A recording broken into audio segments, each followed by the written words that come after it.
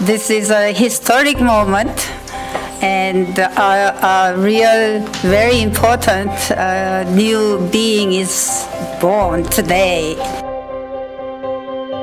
I'm ambassador of South Korea to the United States. And what do you think my dream will be? My dream is wider and deeper relations between Korea and United States.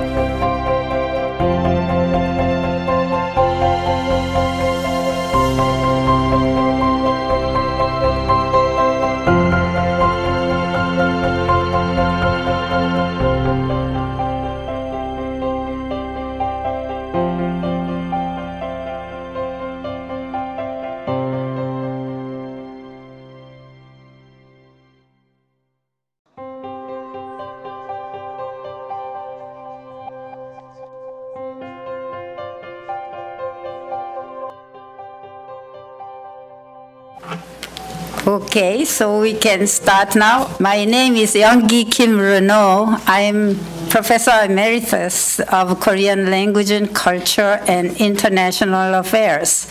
This is a historic moment and a, a real, very important uh, new being is born today, officially. And uh, there are so many of you here, it really moves me too personally. I'd like to invite uh, uh, Professor Gregg Brazinsky, who is uh, the interim director for this semester because our director is on her sabbatical. So, Greg? Thank you, Young-Key. Um, I, um, I'd like to uh, welcome everybody to this inaugural celebration for the GW Institute for Korean Studies. This is a great time to study Korea, and it's an especially exciting time to be promoting Korean studies here at the George Washington University. During the last 50 years, South Korea has become a leading center of global innovation and a vibrant democracy. Its cultural influence around the world is far, far greater than its geographic size. And I think as the, this afternoon's conference is going to make clear, South Korea has a rich literary heritage, and its contemporary writers and poets have drawn praise from the international community of critics and scholars. I'm especially excited to continue working with my excellent colleagues in Korean Studies here at GW. Uh, Professor Young-Key Kim Renaud, uh, she planted the seeds of our Korean Pro Studies program when she arrived at GW during the 1980s, and she has continued to nurture them since. She has been a welcoming beacon for everybody who wants to study, research, or learn about Korea at this university. Building on the foundation that she laid, the university later hired Korea experts including myself, Celeste Arrington, Richard Grinker, Myok Pak, and Jisoo Kim. And uh, Professor Kim, who you'll hear from next, also played a critical role in establishing this institute after only seven years at GW. She has already become a very important force in the field of Korean studies. Through her tireless efforts, GW won a grant from the Academy of Korean Studies that made this institute possible. At the Korea Institute, we will take advantage of Korea's growing political and cultural importance, and we will take advantage of the strengths of this university in Korean studies. We, will, we have a great schedule of events lined up for the spring, as you can see if you look at the back of your brochure, including two lectures that are on very timely subjects, our signature conference in May, uh, and several other events which are not on the back of the brochure, but you'll be hearing about. Uh, so anyway, I will be brief, and I, I would just say that we look forward to making GW into a hub of Korean studies in the DC area. I thank you all for attending, and I hope to see many of you at our events in the spring and in the next five years. Thank you very much. So now I invite Jisoo Kim. She is the director of the new institute. She's, as I said, she's on her sabbatical this year. She flew in yesterday from Seoul. So let's welcome Jisoo.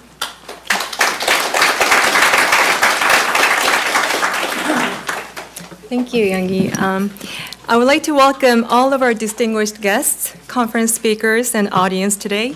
Before I explain about GW's strength in Korean studies and our institute's mission, I would like to first thank the, the Academy of Korean Studies, National Endowment for the Humanities, Embassy of the Republic of Korea, Literature Translation Institute of Korea, and the Korean Literary Society for Washington for making today's event possible. In particular, I would like to thank those who have shown tremendous support at GW in the process of establishing the, the Institute for Korean Studies, starting with our President Steven Knapp, Dean Reuben Brigety of the Elliott School of International Affairs, Dean Ben Vinson of the Columbian College of Arts and Sciences, Senior Associate Provost for International Strategy, Doug Shaw, Vice Dean of the Elliott School, Ed McCord, former Associate Dean for Research in the Elliott School, Hope Harrison, and many, many other great colleagues. I'd also like to thank the steering committee of the Institute for Korean Studies, Professor Youngie Kim Renaud, Professor Richard Grinker, Professor Gregg Brazinsky, Professor Celeste Arrington, and Professor Myo Park. They have all worked so hard to make today's event possible. It is truly an exciting moment for Korean studies at GW. GW's connection to Korea goes far back to 1892 when Seo Jae-pil, or Philip Jaisohn, his English name, graduated from GW's medical school. Although GW's connection to Korea has long history, Korean studies developed considerably during the last three decades.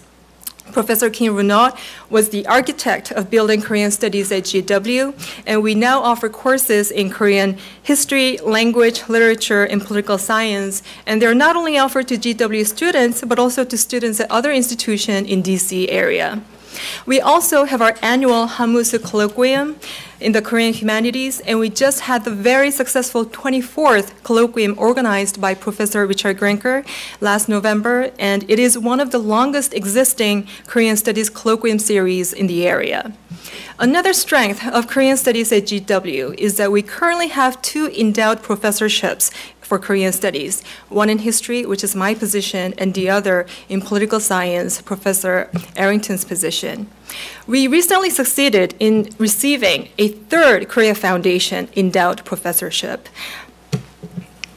to hire a Korean literature professor. Thanks to Korea Foundation, Dean Vinson, President uh, Knapp and Dean Vinson for their strong support, and again, Professor Kim Renaud for her endless work she put into making this position possible. I know how competitive and difficult it was to get this third position. Our Korean Studies faculty and strong program will allow us to play a leading role in Korean Studies, not only in the area, but also in the nation and the world. As I just explained, we already have a strong Korean studies program at GW. However, it is now time to move up to the next level. The Academy of Korean Studies awarded GW a core university program for Korean studies grant.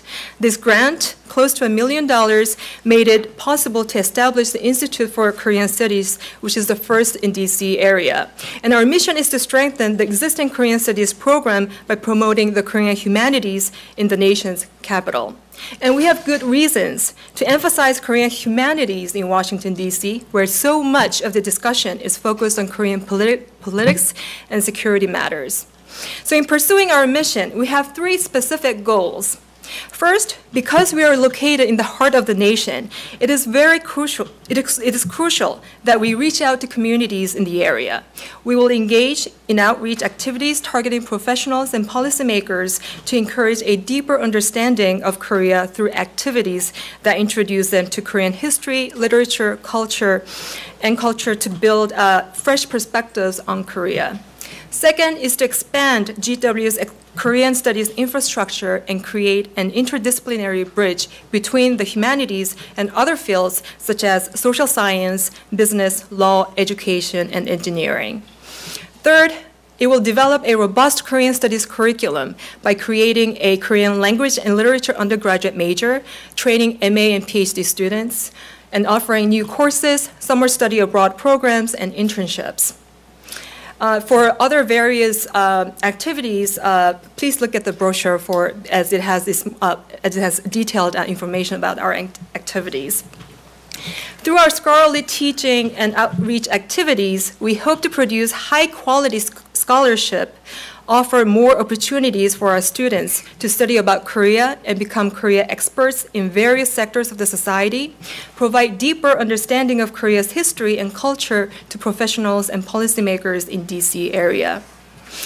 Um, Before I end, I would like to just make this one final comment saying that uh, I, when I teach his, my history of Korea class, I tell my students that Jimmy Carter once said that he wished he had known North Korean history better when he negotiated with North Korea. So if we take this quote seriously, I think our Institute for Korean Studies could play a critical role here in the nation's capital. So as you can see, we have a lot coming a lot going on in the coming years, and I hope all of you will able to show continued uh, interest in GW's Institute for Korean Studies. Thank you. Thank you, Jisoo. Now I'd like to invite Steven Knapp, the 16th president of the George Washington University, to deliver the opening address. He's been such a supporter of Korean studies and a good friend of Korea. Thank you. Uh, Thank you very much, uh, Young Ki, and I want to thank you not only for your role moderating today, but as we've already heard uh, from earlier speakers, the, uh, the very important role that you played in helping to create and in certainly inspiring the development of Korean Studies here at the George Washington University. By the way, I'm delighted to welcome those who haven't been here before to our City View Room. We regard this as a very uh, powerful symbol of what it means to be the largest university in our nation's capital. Um, In fact, if you drew a line from the State Department to the White House, which you can't see, it's right on the other side of that building there, uh, and another line from the Treasury Department to the World Bank, they would intersect in this room where we are right now. And we also like the fact that it affords us a very nice view of what we like to think of as our monument. That's the George Washington Monument right out the window here. Well, I really am delighted to welcome you to the official opening of the GW Institute for Korean Studies, and I'd like to acknowledge, uh, we have many distinguished guests, let me acknowledge a few of those, starting with His Excellency Ahn Ho-young, the Ambassador of the Republic of Korea to the United States, Dr. William D. Bro Adams, Chairman of the National Endowment for the Humanities, who has generously funded today's inaugural conference uh, through one of his coveted chairman's grants. And I have to say uh, that uh, Dr. Adams has been a terrific partner for the university right here, um, as we're such close neighbors. And when, on the occasion of his very important trip to uh, the Republic of Korea last October, uh, he um, asked me if we could do something in the area of, of Korean humanities because it is, as uh, Director Kim mentioned, it's an area that's not as much focused on here in Washington, D.C. as it really deserves to be. And so we're delighted to be able to step up and um, bring together an important group of speakers and guests to uh, reflect on the role of the humanities uh, in relation to the relationship between our nation and the Republic of Korea, which is such an important uh, global relationship. Let me also recognize An Chang Ho, Chairman Emeritus at Rexon Pharmaceuticals Incorporated, Sue Vidas, the President of Cohen DC, Kim Chi, uh, Ki Chan, Professor of Business Administration at the Catholic University of Korea, Park Hyun Suk, President of the Korean Literary Society of Washington, the uh, Dr. uh, uh, Seong-Kon, uh, Kim Seong-Kon, rather, who is President of the Literature and uh, Translation Institute of Korea, and uh, and finally Lee Shiyun, Regional Director of the Korea Foundation's D.C. office, who has joined us here this morning. We're very grateful to the Academy of Korean Studies for its grant that helped us establish the institute, as you heard from Director Kim, to the Korea Foundation for its support during the last three decades, and especially for its assistance, as you just heard, in establishing what are now three endowed professorships in Korean studies at GW, which really makes us a very powerful um, uh, institution for the focus on Korean studies. And uh, also, again, the Literature Translation Institute of Korea, which has supported so many of our activities over the years. The GW Institute for Korean Studies will ensure that Korean humanities will have a strong and abiding presence in the heart of this nation's capital and will also help cement GW's position as a global leader in Korean studies. In fact, among U.S. universities, George Washington enjoys an unusually long and distinguished history of engagement with Korea. We have many distinguished Korean alumni, and you heard one of those mentioned uh, by Director Kim, Seo Jae-pil, who earned his medical degree from George Washington in 1892. He was the first Korean, in fact, to receive an American medical degree and was also a ch champion of the Korean independence movement and the first Korean to become a naturalized U.S. citizen and is credited in many ways with helping, with being, as it, as it were, the father of modern Korea, in part through his role of publishing the first newspaper that was printed in Hangul rather than in uh, Chinese characters, and a very significant uh, a person in the history of, of Korea. Uh, and next I'll mention Syngman Rhee, the founding president of the Republic of Korea, who graduated from GW with a Bachelor of Arts degree in 1907. I'll also mention Lee Hee-bum, the uh, former Minister of Trade, Industry, and Energy for the Republic of Korea and president of the Pyeongchang Organizing Committee for the 2018 Olympic and Paralympic Winter Games, who earned an MBA at George Washington in 1987. As a matter of fact, George Washington's largest alumni community outside of the United States is in the Republic of Korea. And uh, we currently have uh, some 300 students from the Republic of Korea studying at George Washington. Uh, over the years, it's been our largest source of international students, and that's one of the reasons why on my very first trip uh, on behalf of the George Washington University when I became president in the fall of 2007, the first place I visited was the Republic of Korea. And that was in the fall of 2007.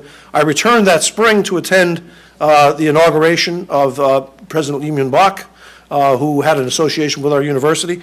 And in fact, uh, that was one of my first occasions to hear, as we heard beautifully sung today, the national anthem on that uh, cold February day where we uh, had the presidential inauguration. And then in 2012, the university held our global forum in Seoul. So we've had a very strong and continue to have a growing connection with the Republic of Korea. We also have a long-standing commitment to Korean studies as the first university in the District of Columbia to offer Korean language as part of the regular curriculum, and having one of the most distinguished members of our international affairs faculty the last century uh, in the person of Professor Gaston Sigur.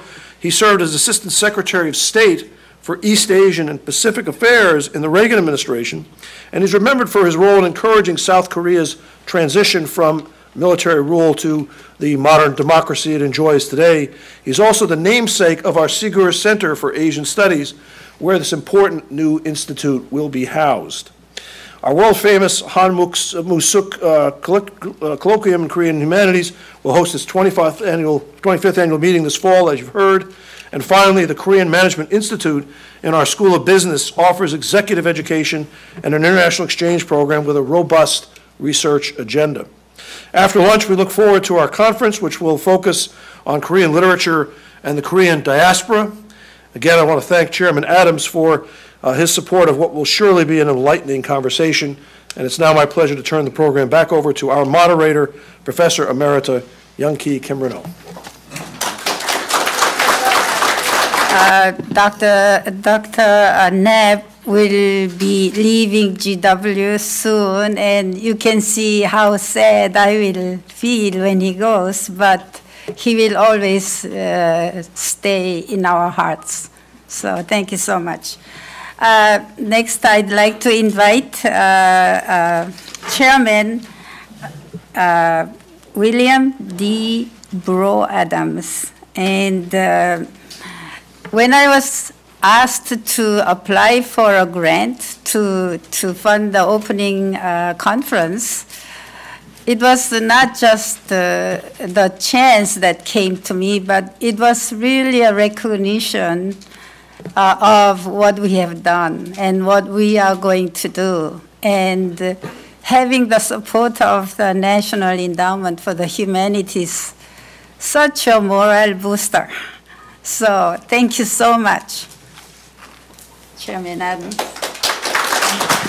Well, thank you, and good morning, everyone. Uh, so pleased to be here representing the National Endowment for the Humanities, and we're so pleased to be able to provide support for this important conference. I want to begin by congratulating the university on this inaugural day and this inaugural occasion of the Institute for Korean Studies. Great day, very important work that will go on here and has been going on, and I look forward to seeing the results of that work uh, over the years to come. But for now, congratulations. Uh, as some of you know, I was in Korea, and as Steve said, I think I was in Korea in October Uh, and I went to attend the World Humanities Forum in Suwon, uh, Korea. But because of the very generous guidance of the ambassador and his staff, uh, I was able, in addition to attending the Humanities Forum, to experience firsthand the extraordinary and extraordinarily deep cultural and historical legacy of Korea as I visited some of the most prominent archives, museums, and libraries uh, in the country. It was a remarkable experience, and shame on me that I didn't know as much as I should have about the deep cultural traditions and history of Korea, but I learned a lot in that first uh, exposure. And there, in those places, and also at the conference, I became aware in an entirely new way of the extraordinary commitment that exists in Korea to the humanities. And it lives on at least two levels. Because it has such a enormously complicated and interesting cultural uh, legacy and history, the Koreans, I found, are enormously and powerfully committed to the preservation of that cultural and historical legacy and to the sharing of it with all Koreans. It is a very, very important thing to them.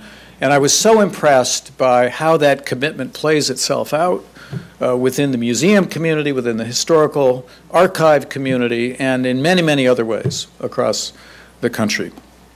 But I was also aware and became aware, and this is even, I think, more important to us now globally, of the commitment to the humanities by way of the understanding that seems to be so um, general in Korea of how important the humanities are as society becomes ever more deeply technical and technological.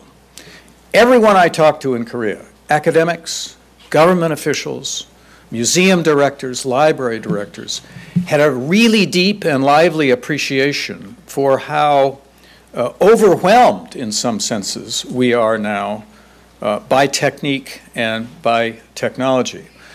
They also have a wonderfully deep and I think much broader appreciation than we have here for how important the humanities are as society becomes ever more technical and technological. It's the capacities that are nurtured and explored in the humanities that become ever more important as our technical prowess increases. Of course, Korea has been through this extraordinary 60 year history of developing so quickly and so powerfully in this technical uh, domain, and it's perhaps because of that that they're so uh, deeply aware of the importance of the humanities. But I came away enormously impressed by their understanding of how important the humanities are now for all of us. And it's a lesson I think we need to learn around the world and especially here in the United States. So my hope is that the exploration of the Korean humanities that will occur here uh, in this institute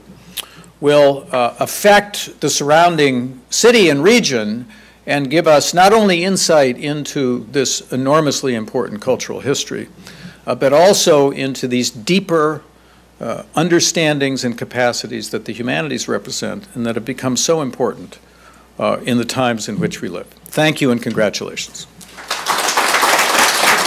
Next, I'd like to invite my dear friend and his very excellent and uh, very kind and very supportive ambassador from Korea, Ahn Ho-young.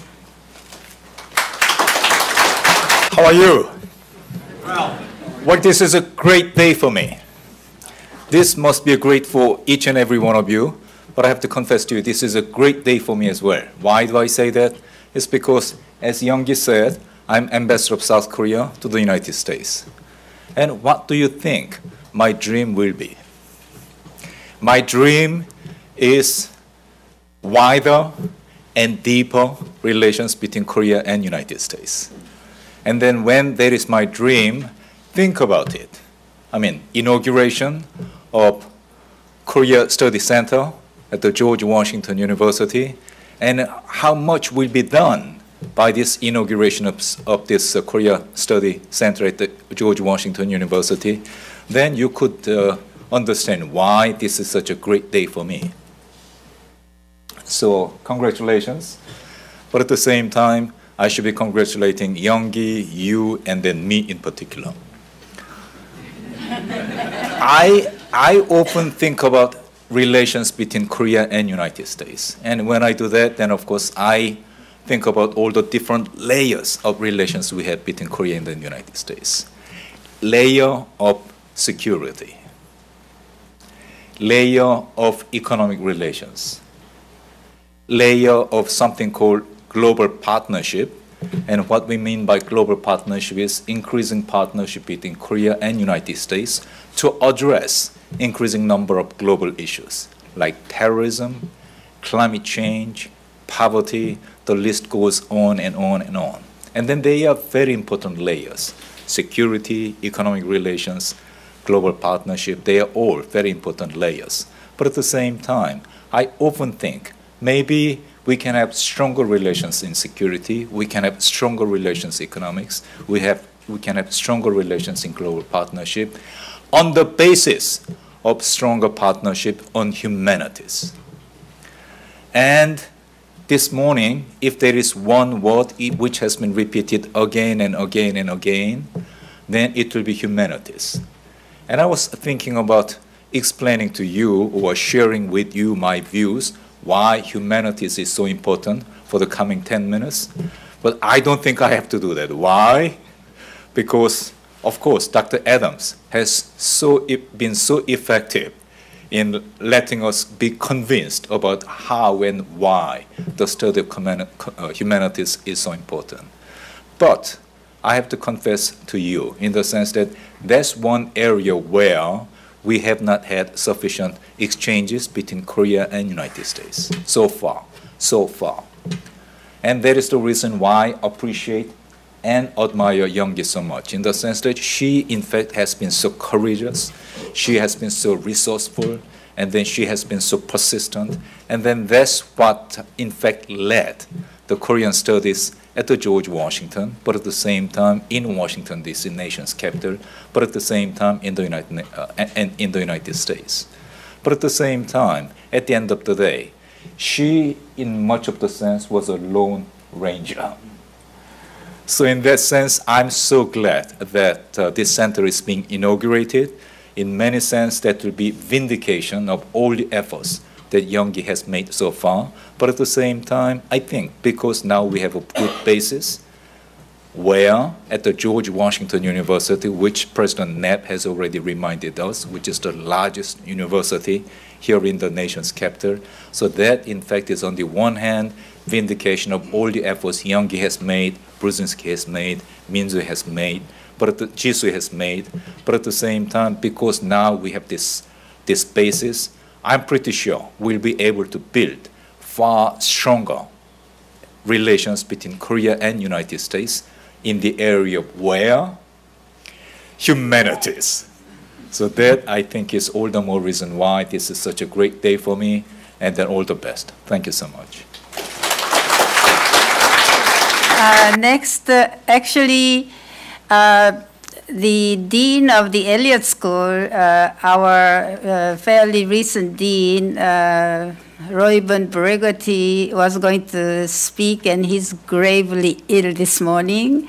And his uh, remarks will be read by uh, our dear Ed McCord, who is uh, executive vice, vice dean.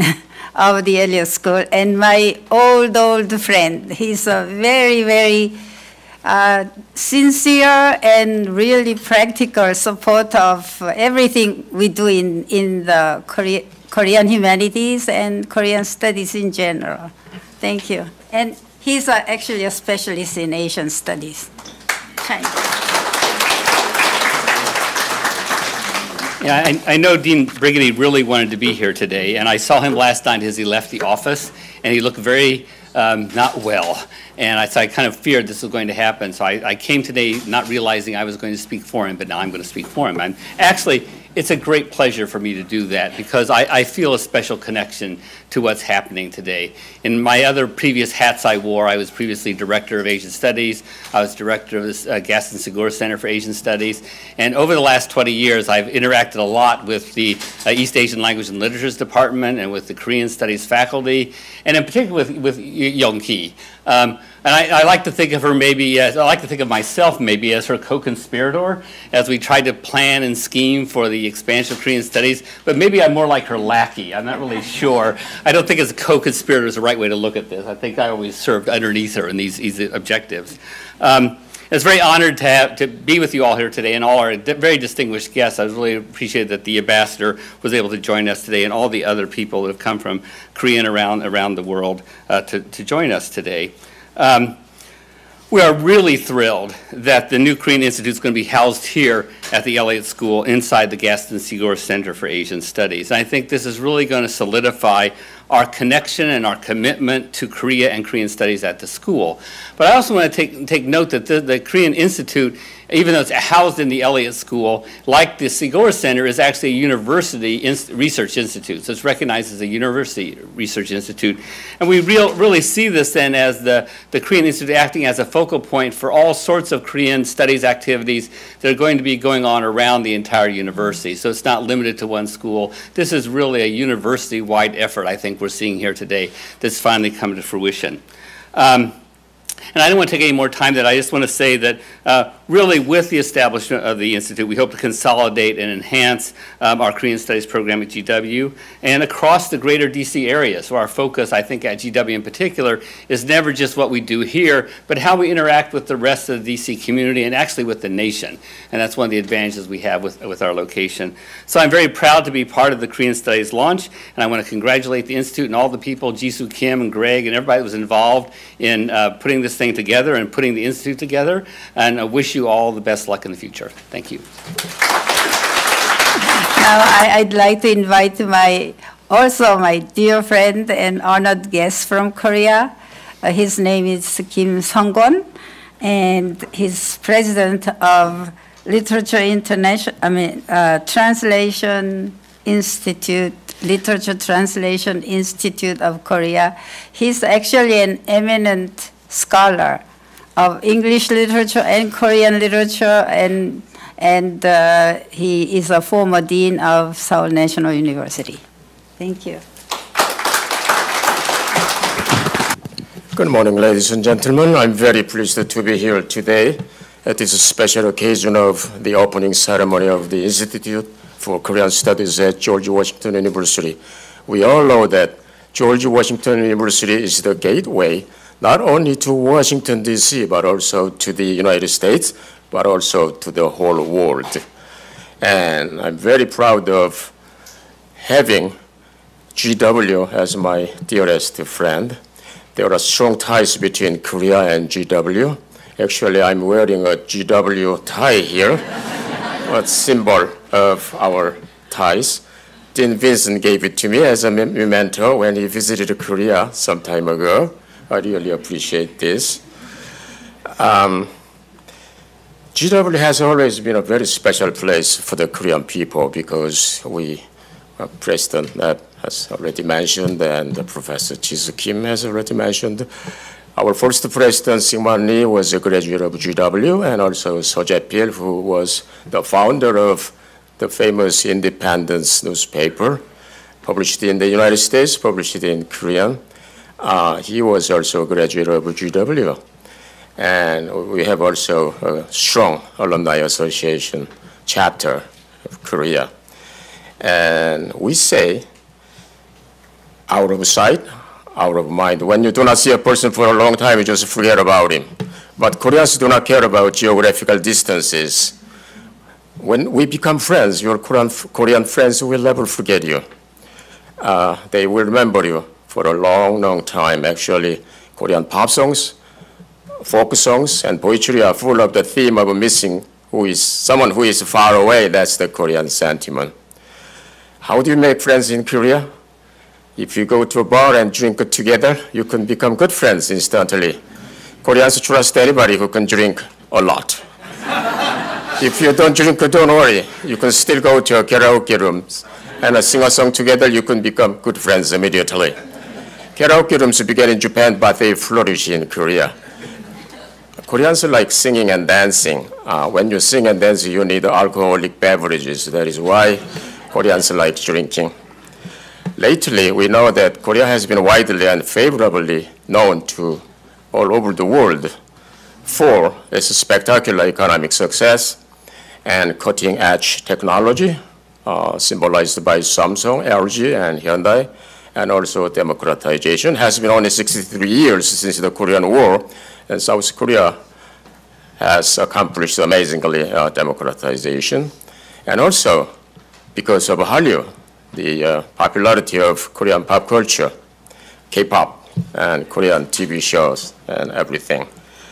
Um, 35, 38 years ago, actually, when I was studying in the United States, at that time I saw American students put up a poster of the Beatles or Che Guevara uh, on the wall of their dorm room.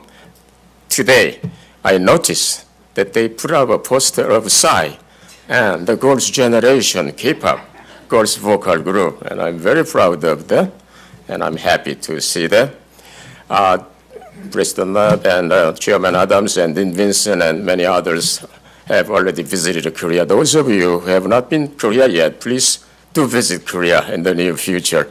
They say Korea is a very convenient place to stay. You can use your cell phone everywhere, in the subway, yes, in the basement, yes, in the mountain, yes. And also Wi-Fi is available everywhere. And if you take a taxi in Seoul, all the taxis accept credit cards, so you don't need to carry cash, which is very convenient. And also you can cry as much as you want in Korea, no matter how old you are, it's okay. Koreans do not attach stigma to crying. Koreans are very compassionate people. We like sad stories. In English, we say a bird sings, but we say a bird cries. When the wind blows, we say the wind cries. When the river flows, we say the stream cries. We basically perceive everything as crying, not singing. Koreans are easily moved by sad stories. And they also say that Korea is a very safe place to stay. There are no guns in Korea. So you can hang around the streets of Korea after midnight, still you will be very safe. Seoul is a gigantic city just like DC or New York City, but its crime rates are very low. And Koreans are very religious, as you may know. There are so many Buddhists and Christians in Korea.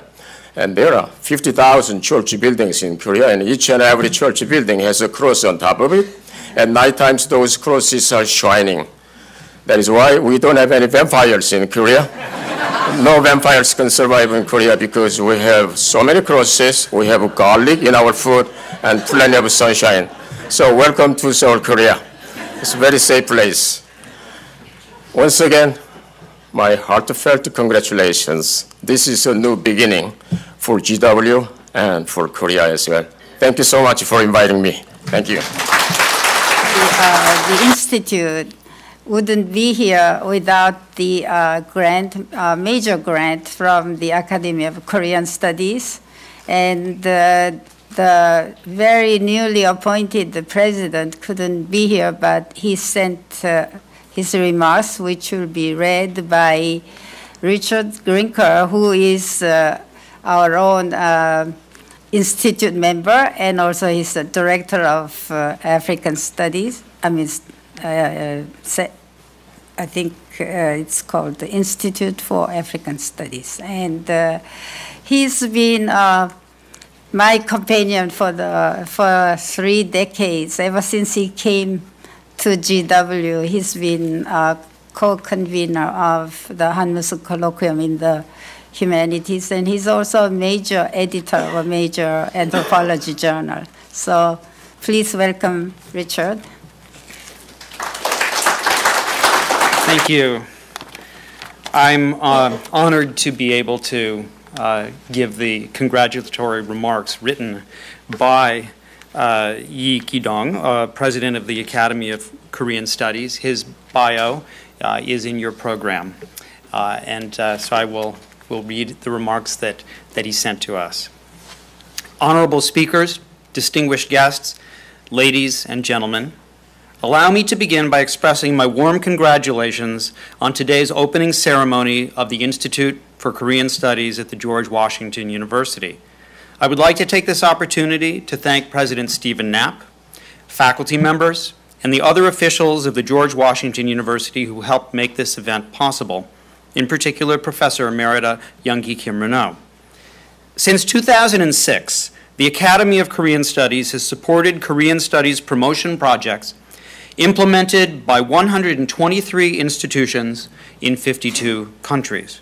And I am delighted to say that the outstanding project proposal, spearheaded by Professor Jisoo Kim, Professor Kim Renaud, Professor Celeste Arrington, Professor Miok Pak, Professor Richard Grinker, and Professor Gregg Brazinsky of the George Washington University was selected as a recipient for the 2016 Core University Program for Korean Studies. The Academy will support the new institute for the next five years.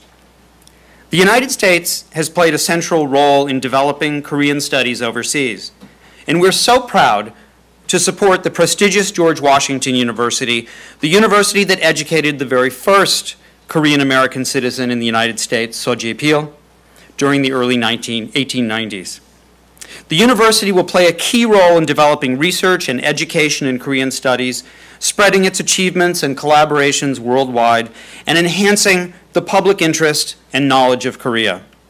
I joyfully look forward to seeing the results of our commitment to GW. I know that all the professors and staff that we support are promoting Korean research and education every day the Academy of Korean Studies will always do its best to cooperate if there is anything you need for the Institute. Before I close, may I once again express my very best wishes for the George Washington University Institute for Korean Studies. I hope that the Academy of Korean Studies and the George Washington University will continue to cooperate for many years and achieve mutual prosperity. Thank you.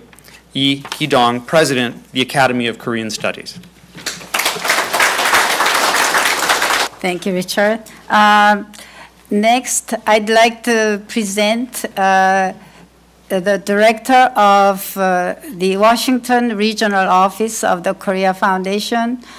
Uh, if the Academy of Korean Studies is directly responsible for the creation of the institute, what really made it possible is a constant and major support we have received from the Korea Foundation in terms of all the programs, research grants, travel grants, and uh, just simply even students' activities, uh, that sort of thing. We have never been met with downright refusal. Sometimes when our proposals were not good, we didn't get it, but most of the times, for the last 20, I mean 30 some years, we've gotten major grants from the Korea Foundation, and the most important, of course, are three endowed professorships.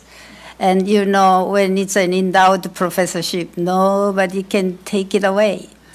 So Thank you so much. And uh, Ms. Lee, uh, uh, uh the president, Lee Sihyung, actually sent also his remarks, and it will be read by the director, the regional director, Xian Lee. Hello, thank you, Dr. Kim. It's a um, great pleasure to be here today to read um, Korea Foundation President Lee Sihyung's congratulatory message on his, uh, on his behalf. So um, here it is. Um, Dr. Stephen Knapp, President of George Washington University, um, William, Dr. William Adams, Chairman of National Endowment for Humanities, Dr. Um, Dr. Ben Benson, Dean of Columbian College of Arts and Sciences, um, Professor Young-Key Kim Renaud, um, Professor Jisoo Kim, Professor Gregg Brazinsky from this newly established Institute for Korean Studies at GW, and dis distinguished guests, ladies and gentlemen. It's my honor and pleasure to deliver my congratulatory message for this auspicious gathering. On behalf of the Korea Foundation, I'd like to extend my heartiest congratulations on inauguration of the Institute for Korean Studies at George Washington University. I'd like to take this opportunity to acknowledge the university's leading role in East Asian studies in the U.S. and to express my appreciation for its strong support in enhancing Korean studies as well as East Asian studies. Over the past 25 years, support from support for Korean studies has been at the core of the Korea Foundation's effort to build an extensive infrastructure to promote understanding of Korea abroad. Thus far, the foundation support programs for universities and academic asso- associations have been primarily focused on the region of North America.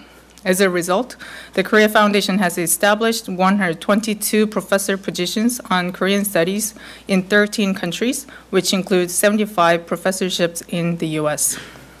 Among them, GW has played a leading role in East Asian studies, especially since its insightful establishment of Sigur Center for Asian Studies in 1991.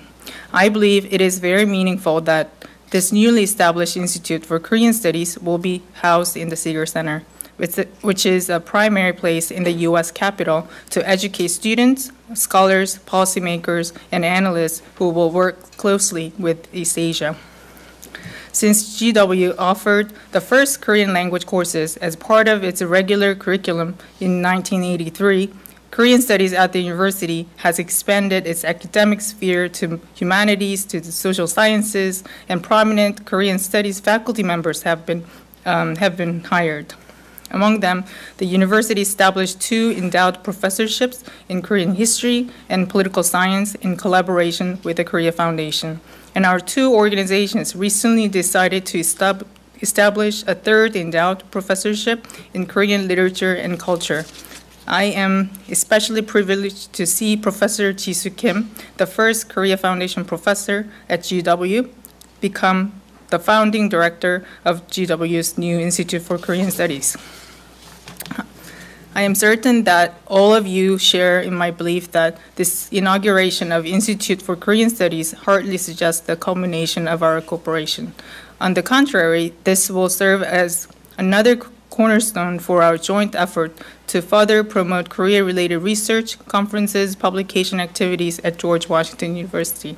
I'd like to take this opportunity to acknowledge Dr. Young-Key Kim Renaud, um, Dr. Jisoo Kim, Dr. Gregg Brazinsky, Dr. Celeste Arrington, Dr. Richard um, Grinker, Dr. Miok Park, and other faculty members for their passion and efforts to advance Korean studies and promote exchange between GW and universities in Korea. Lastly, I'd like to express my gratitude to those who organized this gathering. Special thanks to um, President Stephen Knapp, Dr. Young-Key Kim Renaud, and, staff, and the staff who worked so hard to bring us together here today. And I wish you all, um, all much personal fulfillment in your individual endeavors. Thank you and congratulations. Thank you, Sheyan. Um, now, uh, I'd like to introduce our kind of new, brand new senior associate provost for international strategy. This is a newly created position. And the minute I met her, he actually invited me for a private lunch to get to know each other. And I felt instant support for the humanities, although his background is uh, in security studies. So you see, we all work together with many different sectors of uh, the university. Doug? Thank you, Young-Key. I'm, I'm as humbled today as I was at that lunch uh, to uh, interact with colleagues of such extraordinary accomplishment and leaders of such extraordinary partner institutions. This is a really exciting moment uh, that I see fundamentally as a disruptive act that's authentically aligned with centuries of performance and potential here at GW, uh, and an urgent need in Washington and the United States to better understand the world. The element, the disruptive element, locating a major research university here in the heart of Washington, D.C. is a disruptive act. It resists the temptation to suggest that knowledge and the facts, while interesting, are somehow irrelevant to the exercise of power. Establishing an Institute for Korea Studies here emphasizes the fact that knowledge of Korea is important for what goes on here in town in the business of Washington, D.C. and the United States, and that's very exciting for me this effort is authentically aligned with centuries of performance. Uh, several of the speakers have called out the extraordinary connection between the George Washington University and the Republic of Korea that extends over 100 years into the past. We're also a powerhouse of regional studies here at George Washington University with regional studies uh, focus and capacity extending more than half a century backward. Uh, the Sigur Center itself being the, the, uh, uh the uh, most excellent center for Asian studies here in the nation's capital. And this moment when we're making Korean studies a structural member of the university is very exciting from that, that, uh, that perspective. President Lee's remarks that, um, that this is a cornerstone for future collaboration resonates with me because it, it, it builds on centuries centuries of performance by GW and centuries of possibility between those two institutions. And then finally, the that this activity responds to an urgent need in the United States and Washington to better understand the world. As other speakers have observed better than I can, the alliance between the United States and the Republic of Korea is crucial for global security and prosperity. And the humanities are crucial to the intersubjective understanding that makes that alliance possible. And better understanding of the humanities, access to, uh, to a touch point, to, uh, to understand each other is absolutely essential. Uh, but from my background in security studies, I'd add a, a, a layer that I find even more fundamental and important, which is that when understanding fails, on matters of politics and economics and, uh, and sovereign privilege, the, uh, the ability to connect with the other uh, is, is incredibly important. Um, future American leaders will need Korean friends. Because of what the people in this room have accomplished here today, they will have some uh, that they made here at GW, and that's very exciting. And so I'm, I'm very grateful for this moment to, uh, to celebrate this disruptive act authentically aligned with centuries of performance and potential here at GW in regional studies uh, that responds to what I see as an urgent need for the United States and Washington particularly to better understand the world. Thank you so much. Now, I, I finally come to my dear Dean Ben Vinson, my friend and my supporter and my moral booster and uh, everything. We sometimes exchange messages after midnight because we both are very busy and we have had some low points and we consoled each other. And uh, I don't know what I would have done without Dean Ben Vinson. Ben. It's it's hard to be up here after so many wonderful things have been said. Uh, and I'm going to try to, uh, to kind of bring some things to, to a bit of closure here uh, as, we, as we end this phase and move into, uh, into the lunch period. Uh, I think one of the things that may not have been said, or a couple of things that may not have been said, apart from thanking everyone for everything that has, uh, for, for all of the investment that has been made into this incredible institute, is that uh, a couple of observations. I think we all recognize right now that, that we're living in a world of, of silos. Um, and in ways that we become closer in this world, uh, ways in which technologies bring us closer together, and, and ways in which information circulates and we know each other better. As these processes take place and will continue to take place with greater rapidity into the 21st century, as these things happen, we are observing entrenchment.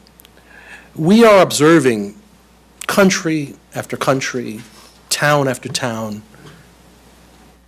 and community after community, ways in which we are becoming less attuned to the world around us. It's in moments like these where I strongly feel that, that centers and institutes play a pivotal role. Uh, in this world of silos, these structures are magnets. And uh, I'll, I'll, go into my own experience a bit. Uh, I am a scholar of Latin America, and uh, I'm a specialist on colonial Mexico. And before taking uh, my job here at the George Washington University uh, as Dean of Arts and Sciences, uh, that was my world, uh, the United States, but really Latin America. Um, and so uh, one of the surprises that I had was, uh, was arriving here and being thrust into the directorship of the Confucius Institute. And I remember a, a, a meeting in which some members in this room, I seeing looking at a couple of them, looked at me with some suspicion. What kind of expertise is this guy going to bring to, to this institute? I realized in the moment of a, of a, meeting where I, quite truthfully, I'll be honest, where I was being jacked up by this, uh, by, by this set of individuals, that, uh, that what's important is not necessarily always the expertise, but it's the ability to understand cross-cultural contact. It's the ability to understand uh, getting out of that comfort zone and being able to understand the essences of, of, of what, that, what, the, what those other cultures and possibilities may bring that round our communities out uh, as, as with greater potential uh, and as greater uh, and, and greater people. And that was what, uh, one of the things that I realized early in, this, in the directorship of the Confucius Institute. That experience was radiated even further during my uh, travels last year uh, to, to East Asia and to Korea. Uh, and my eyes were opened like you would not believe at the things that I saw in Seoul, the monuments that I visited, the people that I visited. President Kim uh, of the Literature Translation Institute was an incredible host, uh, and uh, my eyes were, were opened as you, as you would not believe. Institutes have the power to be these magnets, using humanities, using culture as a bridge. I'll close with an experience of, of, a, of a student in the arts and sciences who's now graduated, who I think exemplifies uh, this, very, this very experience and the power of what this institute uh, may bring. Uh, she was an African American student who uh, um, came to George Washington University. She worked with Professor Kim Renaud uh, and others in our, in our wonderful program of East Asian, East Asian languages and literature, and was captivated by the, by the Korean language. And spent time studying in Korea, and I had a chance to see her uh, give a presentation as she graduated from GW. I was blown away at the things that she'd learned and the ways in which she was connecting her own personal heritage as an African American woman and thinking about that particular framework within, uh, within Korea. It led to uh, uh an astonishing uh, thesis. I believe she has gone on to graduate school. But I see this as the power of this institute. Yes, you will see many things uh, that will be uh, the delight of experts in Korea throughout Washington and throughout the world. And that's good, and that's necessary. But you will also have the opportunity to make this institute perhaps the premier institute of cross-cultural contact in the United States. And I, for one, as a Dean of Arts and Sciences, look forward to that moment. Thank you. Congratulations, ladies and gentlemen. I'm standing between you and lunch. So enjoy. Thank you. This room seats 100 people, but we have had official registration of 150 people. And there are many people who are actually uh, very sorry not to be able to come. Some will be admitted to the conference because some will just just go home after the lunch. So, uh, and then many people wrote to me to congratulate, including some of our own uh, uh, deans and uh, uh, vice president for research. I'm going to read a very short uh, message I received from Leo Chalupa, who is uh, Vice President for Research. And uh, after thanking all these people, he said, GW's commitment to the humanities and its history of contributions to the field of Korean studies is well documented.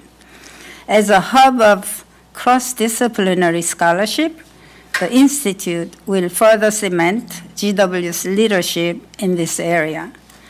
The Institute is an exciting addition to the campus and to the university's research enterprise.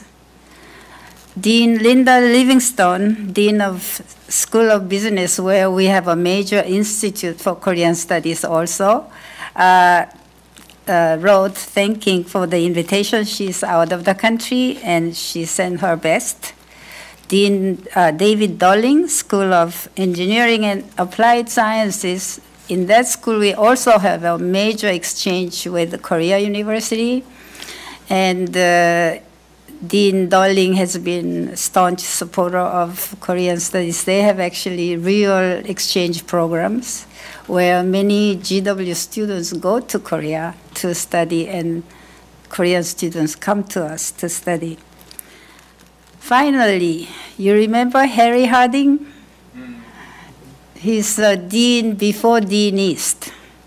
And it all started with him. And he wrote to me, This is wonderful news.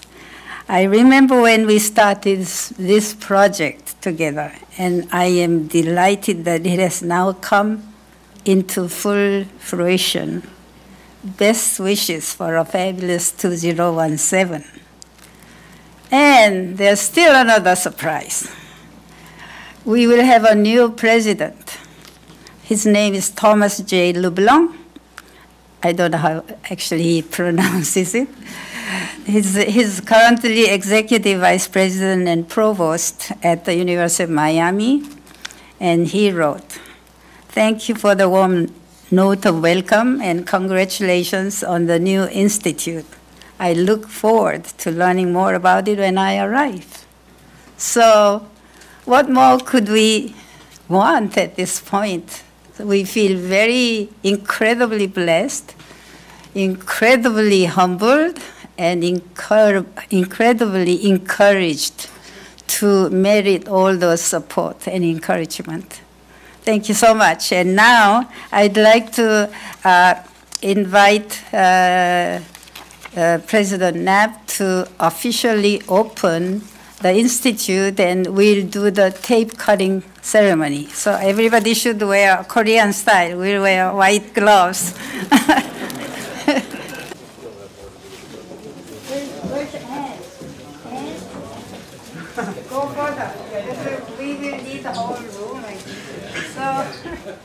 Okay, let's let's stand behind. Like, Sure. yes. What would you like to do? Let's see if we can give him a like Hi. Just, yeah, like this is good. Well, ladies and gentlemen, I think we need to make this a little more Everybody taut. hold, hold. We can pull the ribbons taut. Yeah, so- And I will now declare the Come, come, come. GW Institute for Korean Studies officially open. One, two, three. Well done.